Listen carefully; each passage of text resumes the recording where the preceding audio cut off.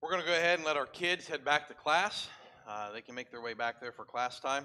As they do that, I'll share with you just kind of a weird thing that happened screen game in your life, but it was a way as kind of kids were trickling in late to kind of just have some fun and be silly. And you, way back in the day, they were all on PowerPoint, you know, sometimes, and they they move forward with that. But we we throw different things up, different quotes, or can you picture this movie scene? What movie is it from? One of the not best, but one of the weirdest games that we ever played was a game called Animix.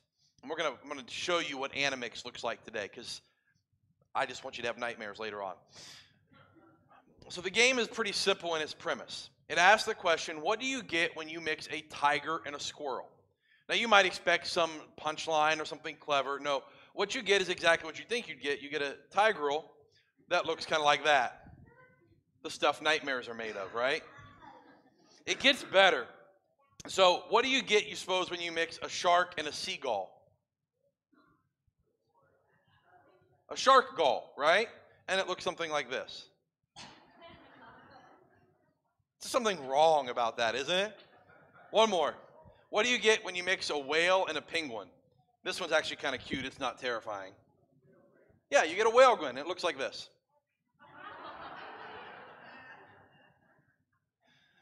There are some things in life that just shouldn't be mixed, I suppose. Uh, just kind of a weird thing that I was thinking about because we're going to read through Psalms 110.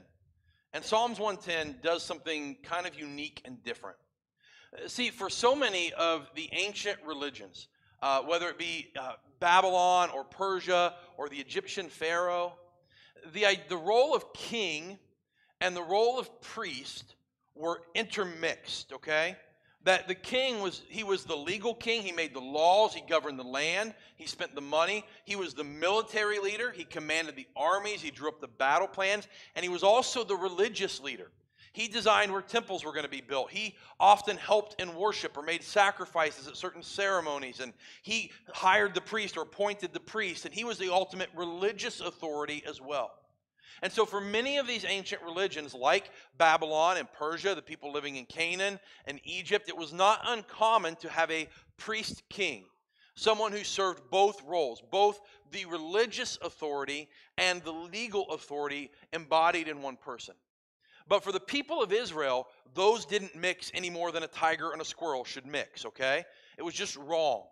In fact, when you read through the stories of the kings of Israel, one of the greatest crimes one could commit is a king trying to be a priest. One of my favorite stories is the story of Uzziah. If you don't know this story, here's the basic outline Uzziah was a really good, godly king.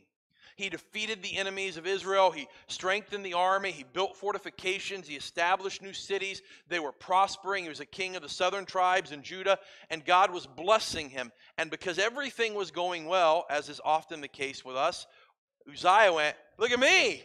I'm doing good. I'm, I'm a good dude. Instead of praising God, he made it about Uzziah.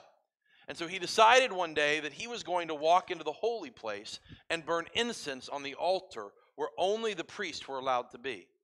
And despite being warned repeatedly, despite being opposed by Azariah and several of the priests of the day, he continued with his plan and was this close to actually pouring the incense on the altar when God struck him with leprosy. And Uzziah spent the rest of his days living in isolation, unable to attend worship, unable to fulfill his duties as king, because he refused to respect the fact that for Israelites, kings and priests were not the same people. Kings were descendants of Judah, right? Descendants of David. The son of David will sit on the throne. The tribe of Judah is where you had to be. The priests were from the tribe of Levi, specifically descendants of Aaron. You couldn't be both, which is what makes Psalm 110 so interesting. So we're going to pick up reading in Psalm 110, starting in verse 1. So the Lord declared to my Lord, Sit at my right hand until I make your enemies your footstool. We're going to pause for just a second and then we'll keep reading, okay? From the earliest days of this writing, the Jews understood this passage to be written about the coming Messiah. And the reason is because of verse 1. The Lord declared to my Lord. So there are three people involved in this verse. Person number one, David. He's the one writing the psalm. Okay? So David is writing the psalm. Then there is the Lord, and there is my Lord. Two very different people. We know this because David chooses different words to talk about them. You'll notice, even in the translation on the screen, that the first Lord's in all capitals. That's because that's the Hebrew word Yahweh. That is the name of God. But the, but the Jews would never say the name of God, they would replace it with Lord. But David writes, For Yahweh declares to my Lord. Now, that one's not in all capitals because that is the Hebrew word Adonai. Now, Adonai sometimes refers to God, O Lord my God. When in, you know, we just sang that, right? Sometimes Adonai refers to God, but sometimes it refers to a king or a ruler or someone who's like Caesar would have been called Adonai by the people who considered him to be their Lord. And so a, a more literal translation is Yahweh or God says to Adonai, the Lord. And the reason they understood this passage to be messianic is because of this question David is the king of all of Israel.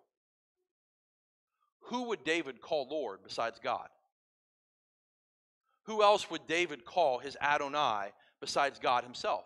But he can't be talking about God because it says, God says to David's Lord. Therefore, it must be talking about the Messiah. And so they would read this passage sometimes at you know a royal event and they would talk about how God would bless the king, but they understood from the very beginning that this passage was a messianic prophecy that one day David's master, the Messiah would come and Yahweh would say to Messiah these things. And so this is a passage about Jesus. And even before Jesus came, people knew that this was a passage pointing towards the Messiah. So the Lord declared to my Lord, Sit at my right hand until I make your enemies your footstool. And the Lord will extend your mighty scepter from Zion, rule over your surrounding enemies. Your people will volunteer on your day of battle. In holy splendor, from the womb of the dawn, the dew of your youth belongs to you. Now, all of this is typical messianic stuff, right? The Messiah is going to be king. They knew that. Okay? All the way back from when David was promised listen, one day your son will sit on the throne and he will reign forever. Okay? David writing about this is not new. This is a picture of all of the great kings of Israel. And you have to imagine when Uzziah was winning all those battles, people wondered if this was about him.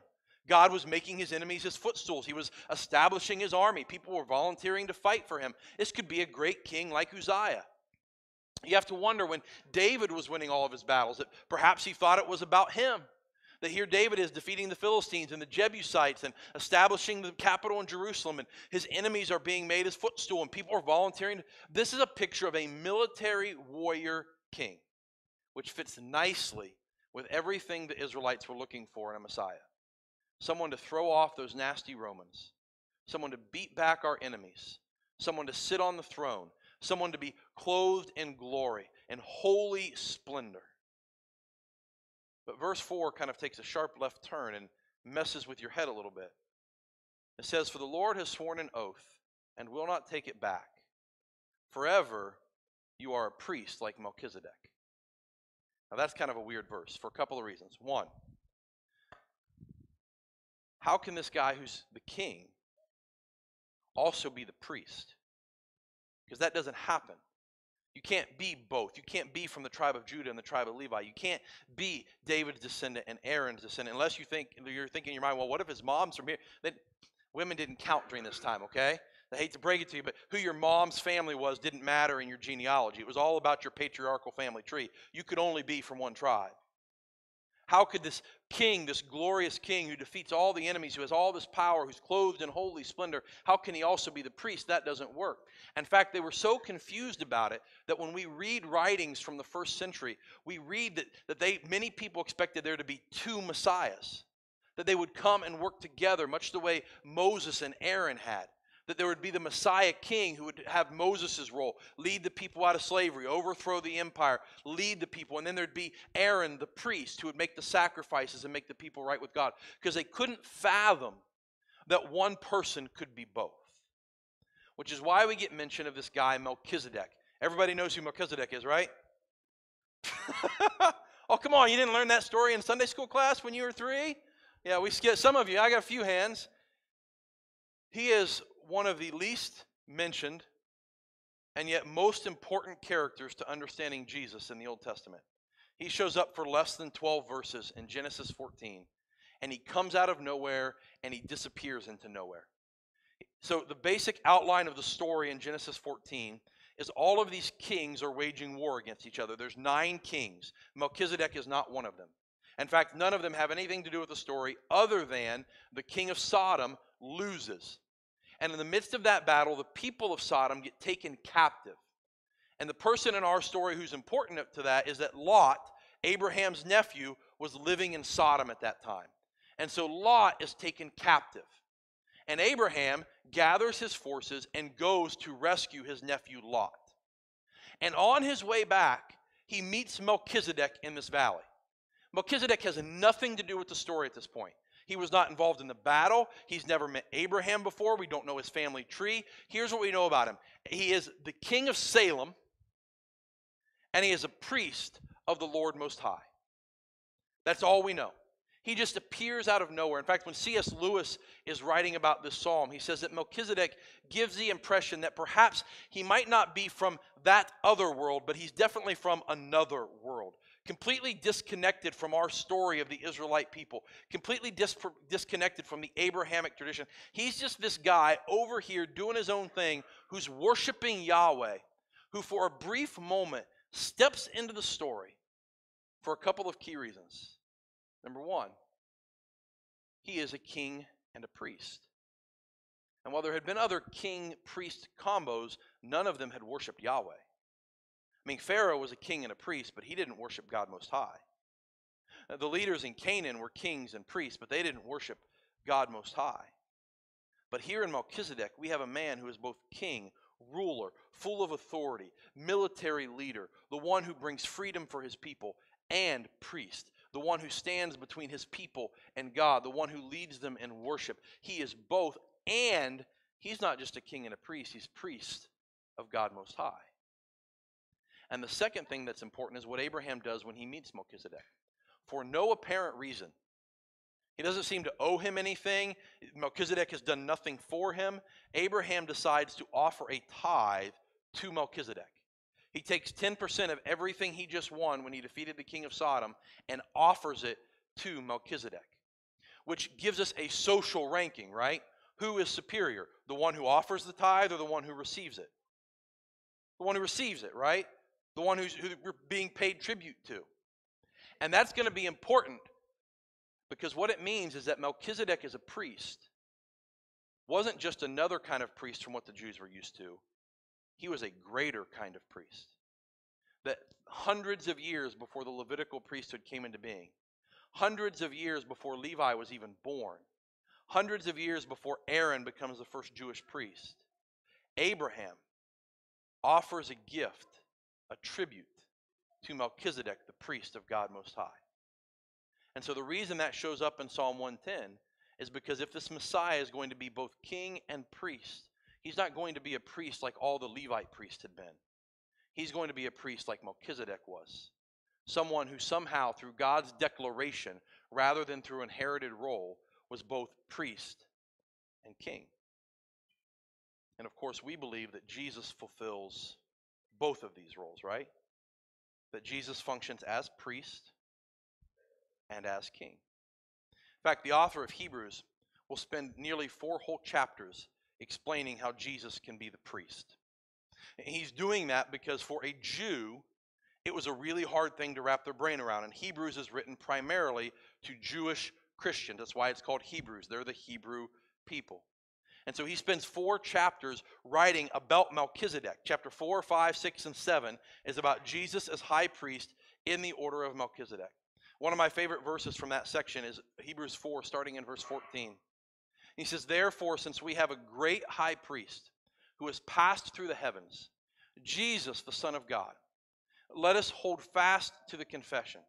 For we do not have a high priest who is unable to sympathize with our weaknesses but one who has been tested in every way as we are, yet without sin.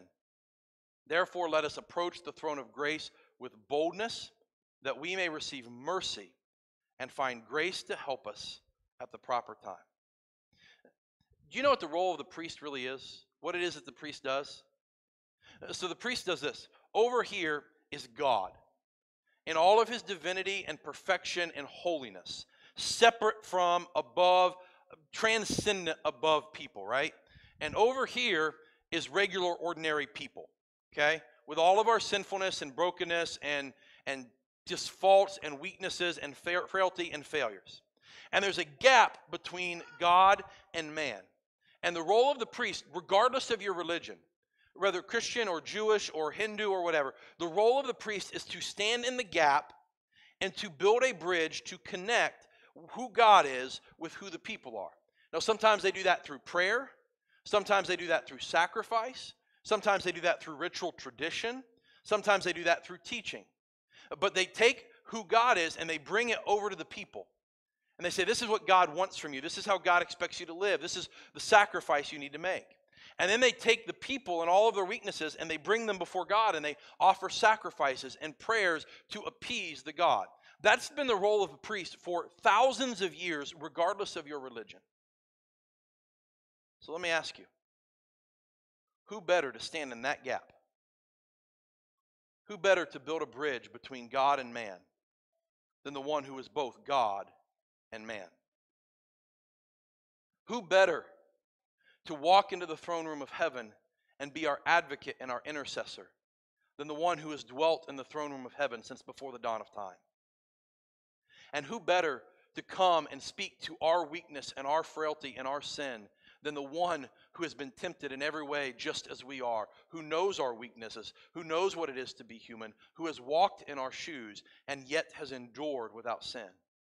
That passage we read in Hebrews basically says this We have a great high priest who's perfectly qualified to stand in the gap because he has both been here and been here, and therefore he can stand and intercede on our behalf. Hebrews goes on to say that Jesus makes a sacrifice once for all, and then he sits down, for his work is completed.